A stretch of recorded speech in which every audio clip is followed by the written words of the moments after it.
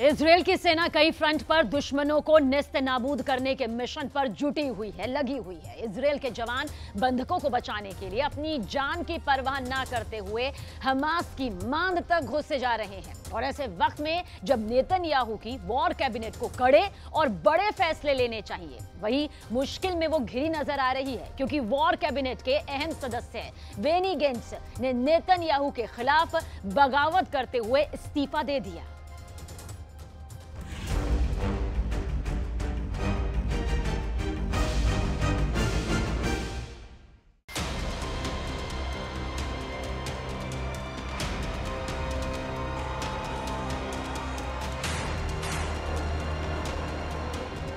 एक और बंदूकें गरज रही हैं। टैंक हमास के ठिकानों को निशाना बना रहे हैं। Hamas cease fire cease fire चिल्ला रहा है। और ऐसे नाजुक वक्त में नेतन्याहू की वॉर कैबिनेट में खेला हो गया है। इसराइल के प्रधानमंत्री बेनामिन नेतन्याहू बड़ी मुश्किल में घिर चुके हैं, क्योंकि नेतन्याहू की वॉर कैबिनेट में नेतन्याहू के ही भरोसेमंद और उनके दाहिने हाथ माने जाने वाले बेनी गैड्स ने बम फोड़ दिया है। ये बम है इस्तीफे का। बेनी गैंड्स ने वॉर कैबिनेट से अपना इस्तीफा दे दिया है। इस वक्त इसराइल की गली कूचे मोहल्ले में गैंड्स के इस्तीफे की खबर पर ही लोग बात कर रहे हैं। विदेशी मीडिया की रिपोर्ट के मुताबिक गैंड पीएम नेतन्याहू से बेहद खफा है। गैंड्स का ये फैसला ऐसे वक्त में आया है जब इसराइल और हमास के बीच चल रही जंग को आठ महीने हो चुके हैं और जंग की वजह से पश्चिम एशिया में हालात नाजुक बने हुए हैं। बैनी के इस्तीफे की पूरी कहानी हम आपको ब्यौरेवार तरीके से बताने वाले हैं। लेकिन उससे पहले देखिए वो आरोप जो इस्तीफे के बाद बैनी गैंड्स ने नेतन्याहू सरकार पर लगाया।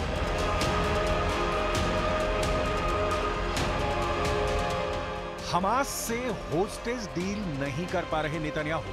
आठ महीने बाद भी हमास का खात्मा नहीं हुआ। वॉर कैबिनेट को भंग कर तुरंत चुनाव।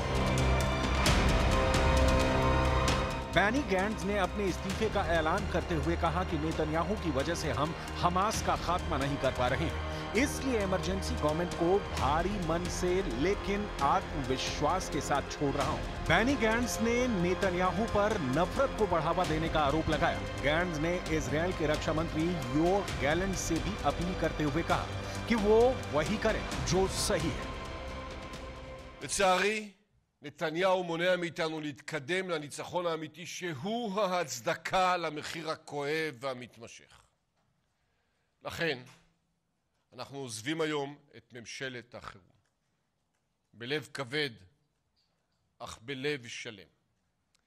אנחנו מתייצבים היום जैसे ही गैंड्स ने इस्तीफा दिया, नेतन्याहू गैंड्स के मान मनोबल में लग गए। नेतन्याहू ने कहा कि ये वक्त लड़ाई से पीछे हटने का नहीं, बल्कि इसमें शामिल होने का है। लेकिन बैनी गैंड्स अपना इस्तीफा वापस लेने को तैयार नहीं है। बैनी गैंड्स से यूँ ही नेतन्याहू इस्तीफा वापस लेने के लिए नहीं कह रहे। पहले जान लीजिए कि क्यों बेनी गैंड्स नेतन्याहू के लिए अहम है। 1978 में दक्षिण लेबनान का संघर्ष। 1982 लेबनान युद्ध, दक्षिण लेबनान संघर्ष 1985 से 2000 तक। 2006 लेबनान युद्ध, operation summer rains, operation cast lead operation pillar of defence, operation protective edge. यही नहीं बैनी गैंड्स इसराइल के चीफ ऑफ़ स्टाफ भी रह चुके हैं। उन्हें इसराइल के हर दुश्मन के बारे में पता है। वो ये भी जानते हैं कि इसराइल का दुश्मन किन बिलों में छिपा है। इसीलिए नेतन्याहू मुसीबत में फंस गए हैं। נמשיך יחד לעשות ככל שביכולתנו להשבת כל חטופינו ולהשגת הניצחון על אויבינו. विदेशी मीडिया के मुताबिक बैनी गैंड्स ने इसराइल के पीएम के सामने छह शर्तें रखी थी जिसे